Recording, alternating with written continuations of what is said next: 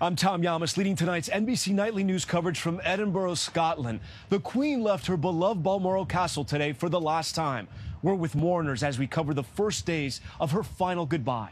And from London, our NBC News teams share preparations for the public to pay respects to the Queen and new details on her funeral, plus the new dynamics with the royal family. I'll have what you can expect in the weeks ahead right here on Nightly News.